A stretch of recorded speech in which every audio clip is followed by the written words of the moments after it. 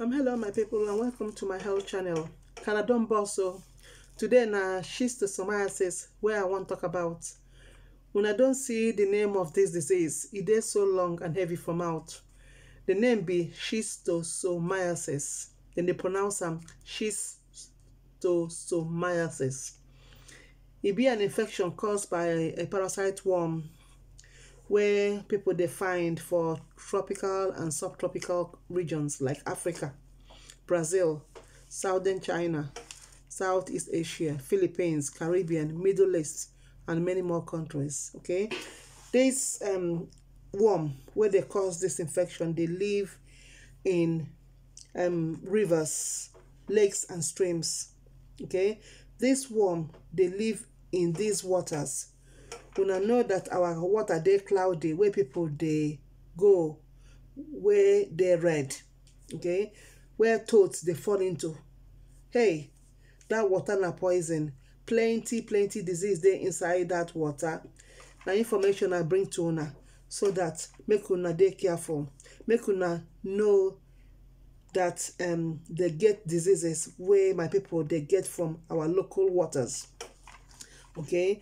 Water wey get so much parasites wey dey live in freshwater snails. Although the parasitic worms no dey for europe or usa waters o okay and no dey for many developed country water people dey get infected worldwide. More than 200 million people don dey infected. For africa the water i dey hammer on here na that water or river wey una dey see church people dey take people go say then they wash them for healing. Comot demons for the, from them body. Baptize them. that same water juju people they use and for sacrifice oh. o these same juju people and church people go kill fowl and goat cut their head pour the wat the blood into the water and throw either the live goat or dead goat into that same river. Chai chai this one na killer. Okay? Ah so all the story dem dey tell una say na healing una dey go to for this river na baptism una dey go for or dey carry una go there for sacrifice because they wan remove evil for una body. This water dey polluted with orishirishi and with the worms wey dey cause more serious problems. This water dey cause serious wahala for people in years to come. Make una eye open and make una hear. Now na wetin wey go help una and save una all. Okay? When this worm enter body na death sen ten ce e be ooo okay? No be this same water people dey enter go swim. Children dey enter go swim. People dey paddle on this same water. Yeah? Some even dey drink am some even dey take and wash dem body. Okay? Na this same water people dey carry go home go drink. Some dey use am to cook food. Eh? Na this same water get these snails wey dey live in am. These worms dey live in the blood of vessels wey dey around the bladder and bowel when the worm don enter the body. And people no know they go dey go there go do washing. How people dey get this even this um, infection the worms where they cause this um, schistosomiasis they live in these rivers lakes and streams okay? And people fit get them from reservoirs and canals in tropical and subtropical uh, regions okay? Now i wan talk say showers where they take unfiltered water directly from the lakes and rivers may also spread infection okay? But the worms um, are not found in the sea. They know they find these worms where chlorinated water dey like those swimming pools okay? Or water then where they don't treat properly okay? Now uh, somebody fit dey infected if they come in contact with the contaminated water for example if dey paddle if dey swim if dey wash okay? These worms they dey burrow into the skin and once e enter your body the worms go move through your blood to areas such as the liver and bowel. And once e there for your body after a few weeks the worms go start to lay eggs some eggs remain inside the body and are attacked by the immune system okay? Or then they attack the immune system while some are passed out in the form of poo and pee. Without treatment these worms feed there dey lay eggs for several years. And if the eggs pass out of the body through poo or wee they release tiny larvae that need to grow inside freshwater snails for a few weeks before they are able to infect any person. This means that e no dey possible to catch this infection from someone who they infected. Okay, now the same many people with this long word schistosomiasis know dey get symptoms or even experience anything for several years or even months. Okay? And you know if you probably no go even notice say um you dey infected although occasionally people they get small itchy red bumps on their skin for a few days okay? Where the worms don't take enter as you see in that leg where they're there. Now after a few weeks some people fit develop high temperature wey go there like over 38 um some people go get itchy red blotchy and raised um patch.